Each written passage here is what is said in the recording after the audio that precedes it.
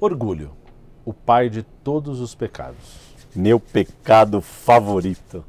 Esse pecado é a corrosão de realidade do homem, ou seja, a ilusão de que ele é autossuficiente. É o pecado que aproxima mais você de mim. Ou que afasta você de mim.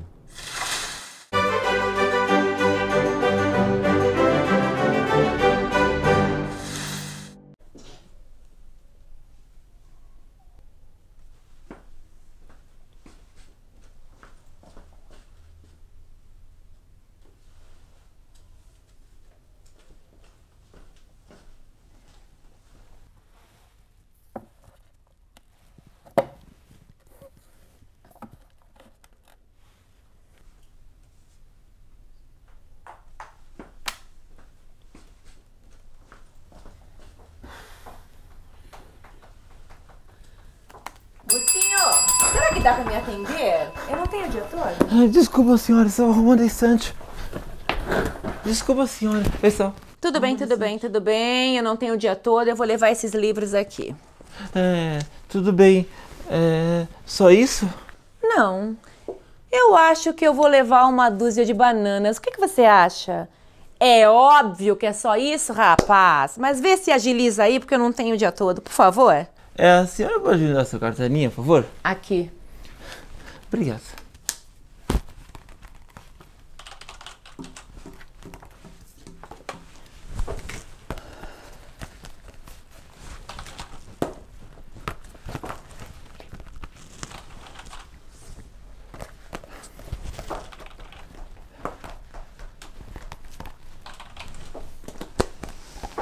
É, prontinho, a senhora tem uma semana para devolver. Eu já conheço as regras. É, tudo bem. Só uma coisa. Cuidado com os livros. O quê? Cuidado com os livros. Não acredito, só me faltava essa. Você agora querendo me dar liçãozinha de moral e me ensinar a cuidar de um simples livro, é isso? Não, senhora. Eu não terminei, meu rapaz. Saiba você que eu sou uma assídua frequentadora dessa biblioteca. Eu sei muito bem como cuidar de um livro. Sim, senhora. A senhora está equivocada. Não, equivocado, equivocado tá você. Olha só, você já imaginou? Imagine quantos livros eu já li na minha vida toda. Não, não precisa ir longe. Pode imaginar quantos eu li esse último mês. Não consegue, não é? Já você, eu tenho certeza que não leu um único livro na vida, mesmo rodeado desses livros todos. Não, senhora. Você acha que eu tô equivocada, não é isso? Equivocado está o senhor. Você sabe com quem você está falando? Eu sou uma professora universitária. Eu tenho mestrado, doutorado, pós-doutorado, artigos científicos publicados numa revista. Meu marido é um engenheiro premiadíssimo, alto funcionário do governo. Você não é da nossa classe, não tem o nosso status. Então, por favor, se coloque e veja bem como é que você fala, certo? É, eu imagino. Ah, imagina! O máximo que você pode fazer é imaginar mesmo. Imaginar como é ser uma pessoa do meu nível. Que, aliás, com essa sua arrogância, meu rapaz, você não vai chegar a lugar algum. Moça, eu só quis avisar que. Olha, presta atenção. Veja bem com quem você mexe, entendeu? Passe bem. É, moça.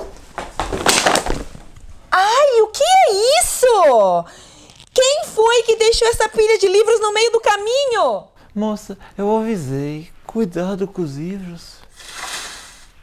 É com orgulho e com o meu pecado preferido que encerramos essa série dos sete pecados capitais. Na realidade, são sete teatros capitais. Cada pecado é um ato dramático que gera risos e lágrimas, mas que no final somos somente eu e você, sem máscaras, sem figurino, sem nada. Ele gosta de falar bonito, mas tudo isso é muito blá blá blá para falar umas coisas totalmente sem sentido que não faz diferença. Cara chato.